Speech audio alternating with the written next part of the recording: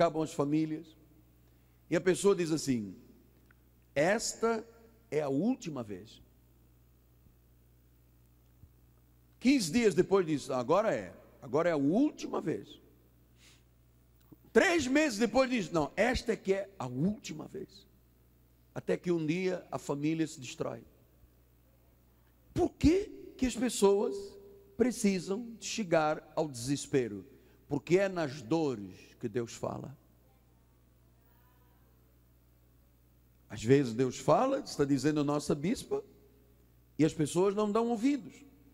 Portanto, as dores fizeram este moço aqui voltar para a casa do meu pai. O que, que eu estou fazendo aqui? Na casa do meu pai há fartura. Eu aqui quero comer comida de porco, estou com fome, não tenho ninguém. Ele precisou de chegar às raias do sofrimento para, no meio das dores, ele dizer: Ah, tem uma vida melhor do que esta. Tem uma vida melhor, tem que ter uma vida melhor que esta. Eu vou voltar é para lá, para a casa do meu pai. Mas ele passou pelo drama da fome, da necessidade, das dores emocionais, dos problemas graves de vida. Portanto, as nossas experiências podem ajudar outros. Número um, quando nós abrimos o nosso coração. Olha o que, que diz 2 Coríntios 6, 11 e 12. Para vós outros, ó Coríntios, abrem-se os nossos lábios e alarga-se o nosso coração. Não tendes limites, mas estáis limitados pelos vossos próprios afetos. Então o que, que Deus disse? Que nós devemos de ter o bom hábito de abrir o nosso coração para que através das nossas experiências outros venham a ter benefícios que nós já tivemos. Eu não tenho medo. Onde eu vou, eu abro o meu coração, eu conto mesmo os dramas que eu vivi. E quantas não são as centenas, milhares de pessoas, são trinta e poucos anos dizendo o meu testemunho, que dizem, apóstolo, se Deus lhe tirou da cadeira de rodas, se Deus lhe tirou da morte, se Deus lhe tirou da gangrena, se Deus fez essa obra na sua vida, e isto gera esperança. Abra o seu coração, seja um ministro, conte às pessoas o que Deus fez na tua vida. Segundo, seja humilde com os erros dos outros, porque em Gálatas 6,5 diz a palavra do Senhor: cada um levará o seu próprio fardo. Então, na lei, os irmãos têm a mania de acusar uns aos outros. Nós na graça não. Cada um tem o seu problema. Eu tenho, você tem, cada um tem. Então nós temos que ser humildes com as pessoas que passam por um problema que nós possivelmente já tenhamos passado. E se nós vencemos o problema, a pessoa vencerá também. Terceiro lugar, seja franco quando você tratar de fracassos. Em 2 Timóteo 1,15 diz assim: Fiel à palavra e digna de aceitação, Jesus Cristo veio ao mundo para salvar pecadores. E Paulo disse: Eu sou o principal. Paulo não disse, Eu sou o rei da cocada preta. Ele disse: Eu também sou pecador. Ele também fraquejou muitas vezes.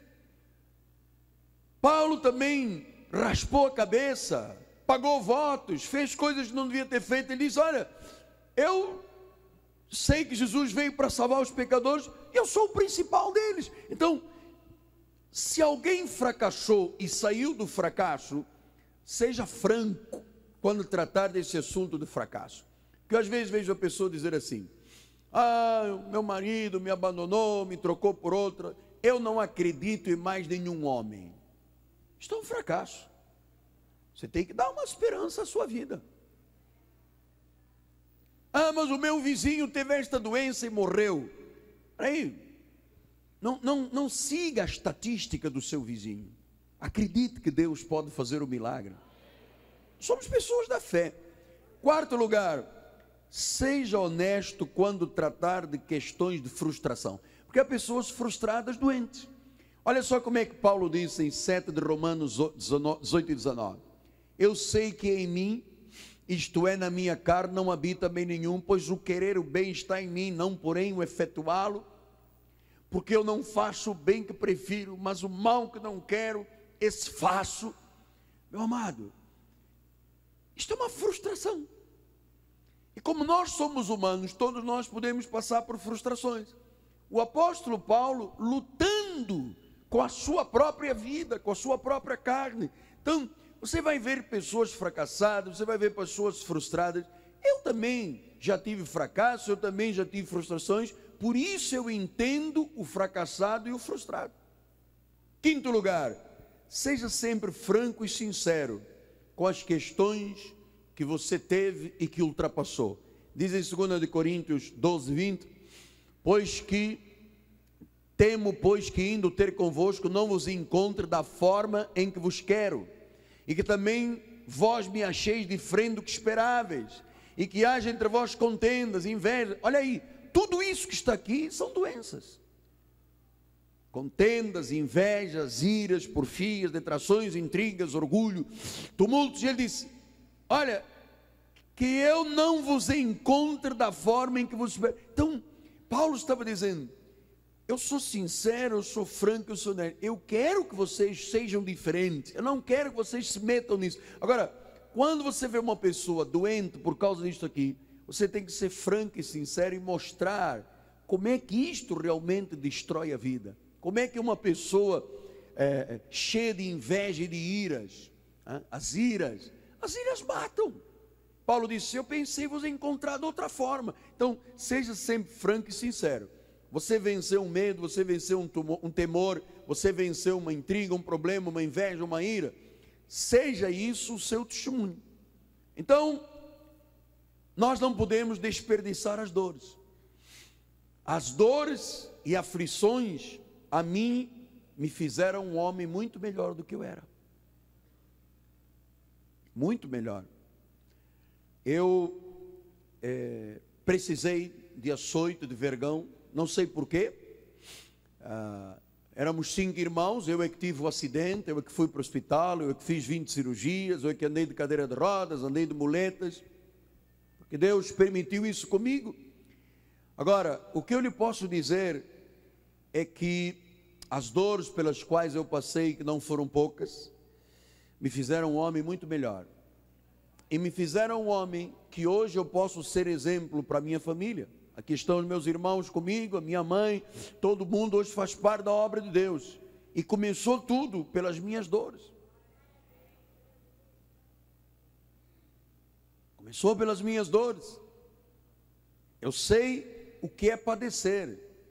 Eu sei o que é você acordar de uma injeção de morfina, meter a mão dentro do gesso e trazer milhões de bichinhos, o corpo apodrecendo em vida. Jovem de 20 para 21 anos, em cima da cama de um hospital, desenganado. Mas quando Deus me tirou de tudo isso, me fez um apóstolo. Como é que eu poderia ser um apóstolo se eu não tivesse vencido tantas dores?